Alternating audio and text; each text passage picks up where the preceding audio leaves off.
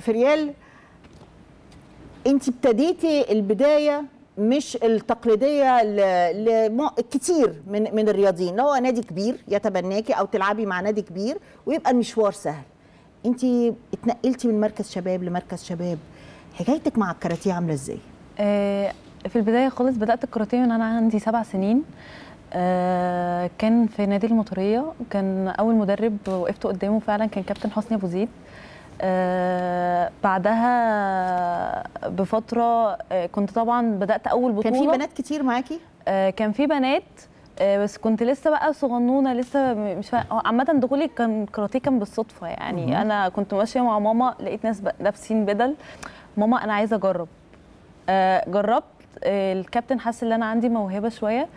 آه، دخلت أول بطولة وجبت فيها مركز أول. آه، بعدها ابتدت الحكاية زي ما بيقولوا. آه، اتنقلت لمركز شباب من وأنا عندي آه، 13 سنة أو 14 سنة آه، مركز شباب الأندلس. آه، كان مع كابتن آه، سيد سالم وكابتن ممدوح. آه، طبعا خدوا الجزء الأكبر آه، في التمرين. آه، بس آه، لظروف كده استغنوا عني آخر شهر قبل السفر.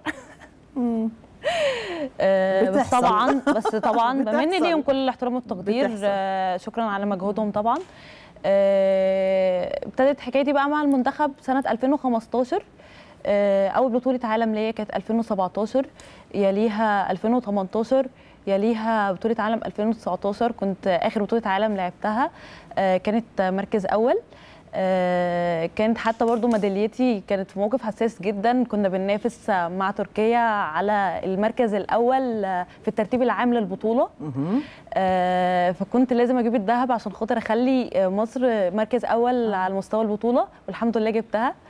آه، وكان مرن على بطولات تانية كتير من عرب بحر متوسط آه، حاجات كتير. آه، بس هو فعلا النجاح ده ما كانش وليد لحظة كان من فترة كبيرة جدا آه، خدتيها سلمة سلمة. بالظبط آه، التدرج. كان آه، سلمة بسلمة بالظبط آه، فعلا كانت أول بطولة عالم. كانت ثالث يليها ثالث بعد كده أول أها.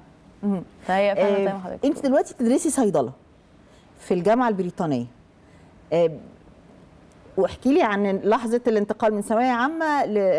ل... للجامعة. وعلى فكرة دفعة صيدلة السنة دي في الجامعة البريطانية تم تسمية الدفعة كلها على اسم وشرف فريال أشرف لحصولها على الميدالية الذهبية.